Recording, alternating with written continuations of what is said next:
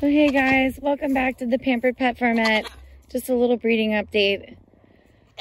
Well, unfortunately, I had a little accident on Thanksgiving when these girls went into heat again since the last video. Um, I ended up breaking my 11th rib and hurting my back. And I already have a previous back injury. And I bruised my tailbone. So we kind of missed that heat, which might not be a bad thing because little Juju is still very small. We'll go down here and see him. He has managed to pee all over himself.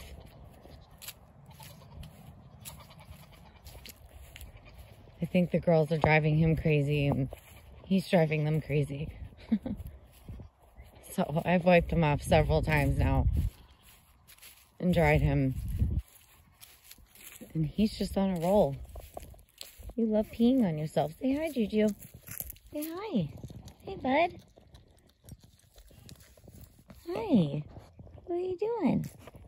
You gotta get back a little. Yeah. You have to get back a little. I have to be careful I don't move the wrong way. then I'll just hurt myself more. Look at all that yummy pee on you. Look at that. I don't know if you guys can see. I think the lighting's a little bad. Yeah. Oh, there you can see you better. There you can see you better. Yeah. Say hi. No. You're not doing anything to me. No. I'll pet you on your head. Yeah. I'll pet you on your head. No, you're not starting your weirdness.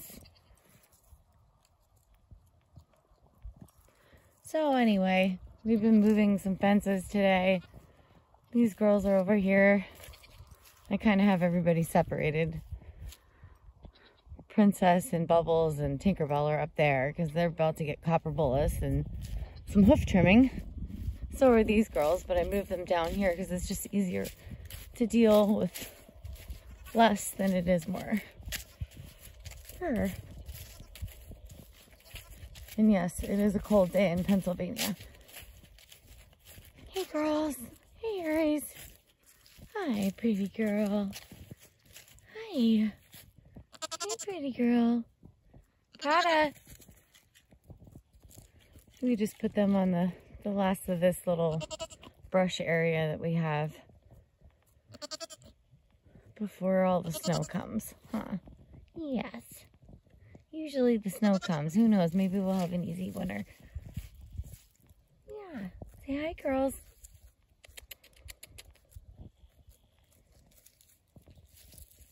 You guys ready to get your copper bolus? Yeah. Your hoofs trimmed. Oh, I better get up there and get with it here before we lose the sunshine. Oh my goodness. The sun is at least shining. There's my wonderful husband. He's about to help me.